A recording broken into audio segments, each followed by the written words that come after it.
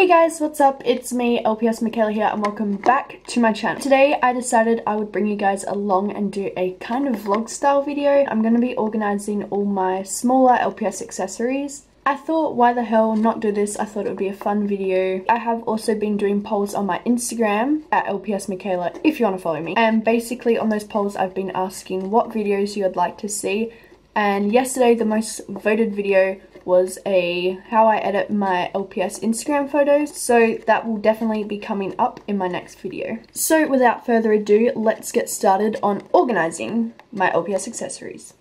Hell yeah! Oh my god!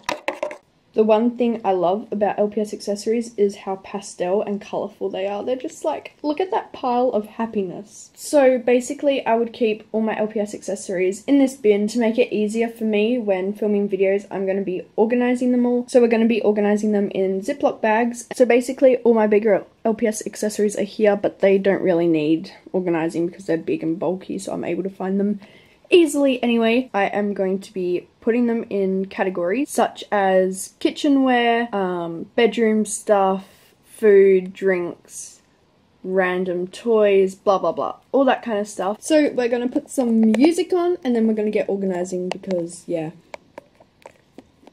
Hello. Hello. It won't turn on for me. Uh, you can't really see this bit. And here we are.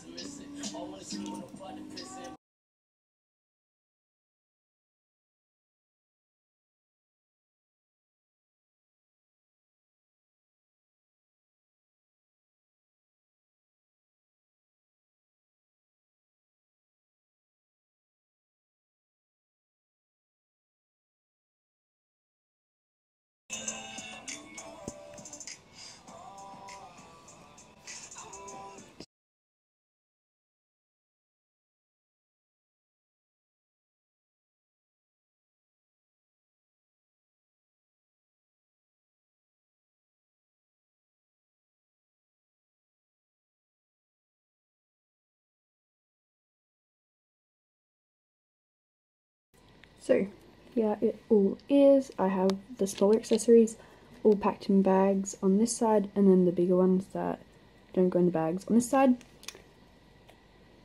Yeah, that was basically it. That was basically it. I hope you guys enjoyed. If you did, be sure to give it a thumbs up, subscribe, comment down below any video suggestions, and also follow me on Instagram at LPS Michaela. And I'll see you guys in my next video. Bye.